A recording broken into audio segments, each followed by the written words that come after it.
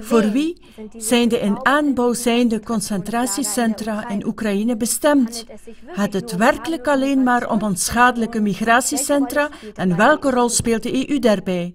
Amerikaanse strijders in Oekraïne, een farce voor de zogenaamde Amerikaanse vredespolitiek. Goedenavond, beste kijkers. Hartelijk welkom bij deze Klagemauer TV-uitzending vanuit Studio Münster met twee actuele berichten over Oekraïne.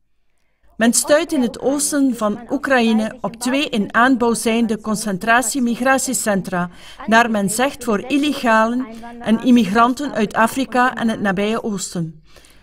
Beide projecten worden beschreven in het Engels, uitgevoerd door een Turkse firma en contant meegefinancierd door de EU. De overdracht van de voor 2015 geplande complexen is inmiddels vooruitgeschoven naar juli 2014. De ver afgelegen kampen zijn omgeven door een metershoge afrastering met prikkeldraad. De niet-legitieme regering in Kiev nam op 8 april 2014 een wet aan die burgers van Oekraïne die deelnemen aan betogingen en protestacties voor het opnieuw integreren in de Russische Federatie en weerstand bieden tegen het militaire ingrijpen tot gevangenisstraf, veroordeeld als landverraders. Is het allemaal toeval? We brengen ook nog een info over wat zich momenteel in Oekraïne afspeelt, waar Amerikaanse strijders in Oekraïns uniform binnengeloodst worden. Er worden minstens 150 strijders van de Amerikaanse militaire privéorganisatie Greystone, die een van de grootste private militaire bedrijven van het Westen is en nauw verbonden met de geheime diensten in Oekraïne, gezonden.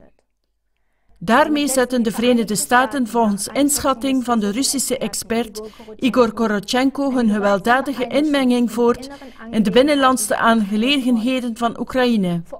De Amerikanen zijn ter plaatse gekleed in het uniform van de Oekraïnse speciale eenheid Sokol.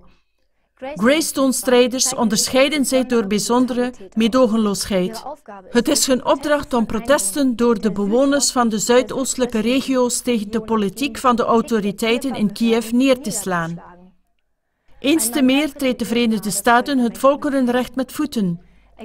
Ter aanvulling hierbij een citaat van Frans Josef Strauss, voormalig minister-president van Beieren en CSU-voorzitter, die in 1970 het volgende zei. Men moet zich bedienen van de nationale krachten, ook al zijn ze nog zo reactionair. Het is achteraf altijd mogelijk hen op een elegante manier onschadelijk te maken, want men mag niet kleinzierig zijn met hulptroepen. Beste kijker, de Oekraïense burgers bevinden zich in een situatie die ze aantoonbaar niet zelf veroorzaakt hebben. Met het verspreiden van de waarheid over deze mistoestanden helpt u hen uit deze levensgevaarlijke situatie. Veel dank en nog een mooie avond.